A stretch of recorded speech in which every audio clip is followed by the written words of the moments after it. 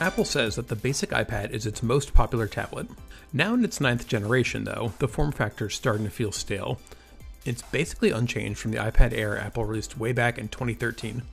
Then again, for only $329, who cares? It's not a tablet meant for early adopters like me. It's for those who want a fast, lightweight tablet with a nice display and tons of apps, without having to spend too much or consider whether a device like the iPad Pro is the future of computing. As such, there are just a few things to consider about Apple's latest iPad. If you have an old iPad, what's new and better about this one? And if you don't have an iPad, is this the one to buy?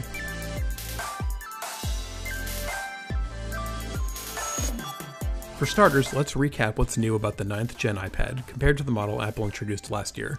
The processor powering it is Apple's A13 Bionic chip, which first appeared in 2019 inside the iPhone 11. It's a year newer than the A12, which powered last year's iPad, and it's faster and more efficient than its predecessor. I experienced no noticeable slowdowns of any kind, whether I was multitasking between Slack, writing this review in Google Docs, juggling various tabs in Safari, or playing Apple Arcade games. Since this iPad has less RAM than the iPad Pro I use on a daily basis, I noticed that apps needed to refresh their content more frequently when I was doing a lot of multitasking. But everything was quick to load up and I was back on my way in no time. For most people's standard iPad use cases, browsing the web, editing photos, playing games, watching movies, messaging, drawing or taking notes with the Apple Pencil, writing emails, or working on documents with the Smart Keyboard, the A13 Bionic is more than powerful enough. Another new thing about the 2021 iPad is you get double the storage for the same amount of money. That means the $329 iPad has 64 gigabytes of storage this year, while the $479 device comes with a healthy 256 gigabytes. As usual, you can also add LTE connectivity to these devices for an additional $130. This change is easy to evaluate. More storage is always better, and it was sorely needed, particularly on the base model. The iPad's 10.2 inch screen is unchanged but for one new feature. It has Apple's True Tone technology for the first time, which automatically adjusts the color temperature based on the ambient light in the room around you. Apple has offered this feature on more expensive iPads and all of its iPhones for years now, so it's nice to see it finally in use at the lower end. The display otherwise looks good whether you're watching videos, playing games, or browsing the web. It's not nearly as good as the screens on the other iPads that Apple sells, though. For a $329 device, it is perfectly usable, pleasant even, I did notice the air gap on the new iPad that comes from not having its display bonded to the glass, but I can accept that as a cost cutting measure. Finally, Apple put a new front facing camera on the new iPad, a sorely needed upgrade. It's the same as the one on the new iPad mini and the iPad Pro, minus all the depth sensors and extra hardware needed for Face ID. It's a 12 megapixel shooter with an extremely wide field of view. That wide angle enables a feature Apple calls center stage, when you're on a FaceTime call, the camera automatically crops in around you rather than show the full 122 degree field of view. But since the camera has all those megapixels to work with, it'll follow you around as you move inside the frame. It's an interesting feature, though usually I'm stationary during video calls. I'm still just glad about the increased resolution. Everything else about the new iPad is unchanged. It is the same size and weight as the last two models and features the same screen size. It has the same largish bezels, 8 megapixel back camera, lightning port for charging, and home button with Touch ID built in. It works with the first generation Apple Pencil that Apple has offered since late 2015, and the same smart keyboard that Apple built for the 10.5 inch iPad Pro back in 2017.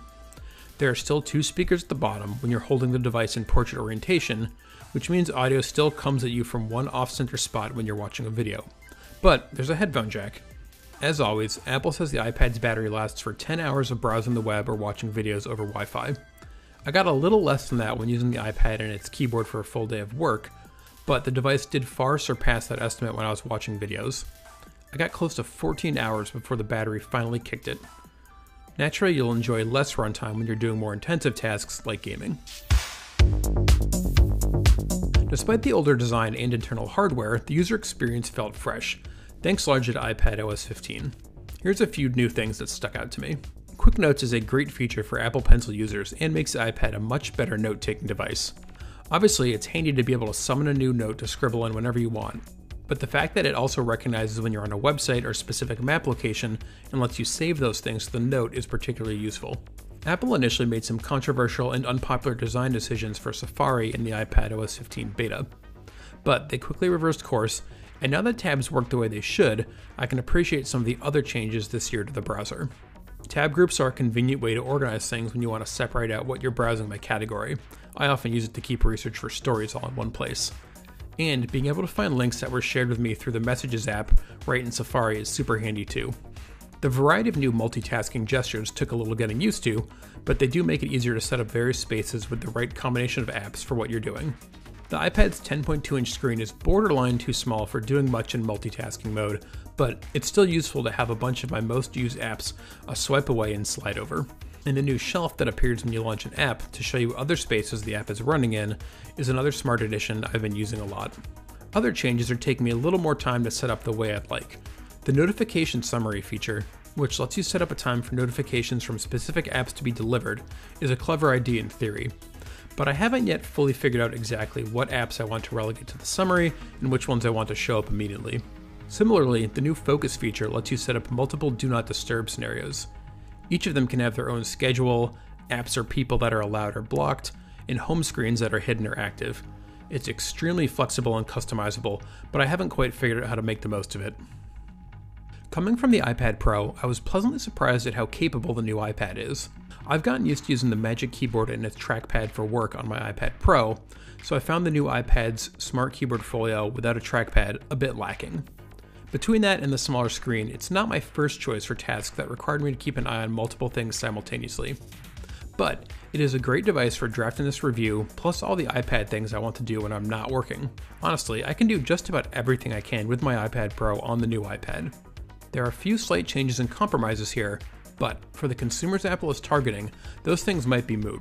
The iPad remains a very good tablet at a fair price. If you want something more modern, I don't blame you and would instead point you towards the iPad Air, which hits a sweet spot of performance, features, and price. But the new iPad is undeniably the best value in the company's lineup, which means it should keep its place as the most popular iPad. If you have an old iPad that's starting to feel sluggish, this new one should be a solid replacement. And if you've never had one before, this is the place to start.